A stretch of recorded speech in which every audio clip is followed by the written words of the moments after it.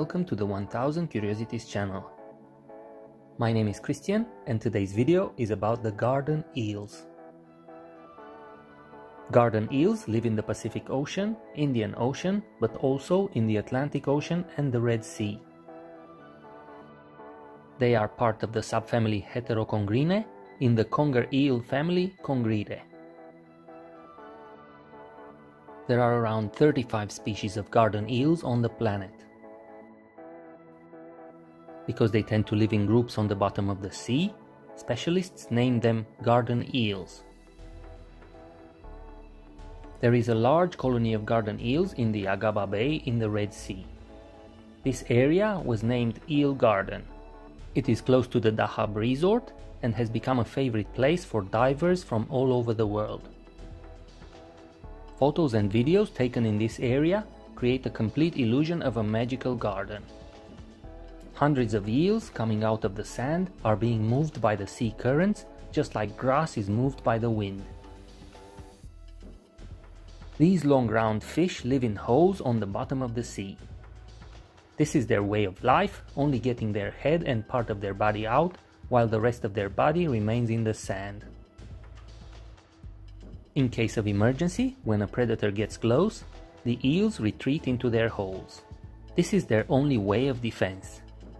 If predators or humans try to dig them out, they go deeper and deeper using their tails like a screw to make way into the sand. The largest densities are of about 40 eels per square meter. The garden eels feed on plankton or shrimp larvae. They are mostly active during the day, therefore are considered diurnal creatures. Garden eels are harmless to humans.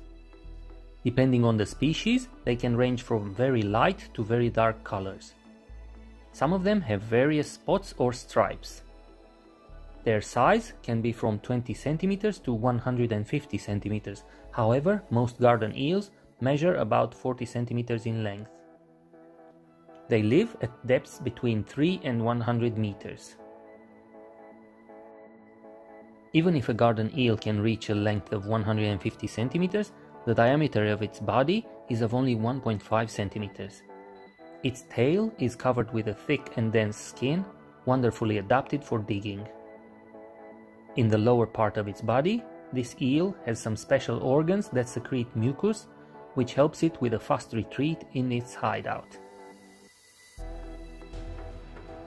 Garden eels have large eyes and a very good eyesight, but they have a poor smell due to their minuscule nostrils.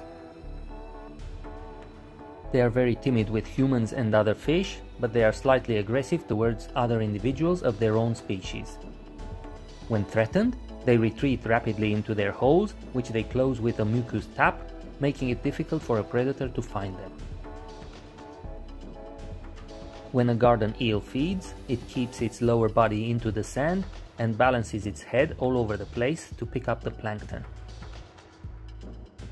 During the mating season, they dig their holes very close until they almost touch each other. Then the male chooses which female he wishes to mate with and defends her ferociously, biting the head or the eye of any other male wishing to approach her.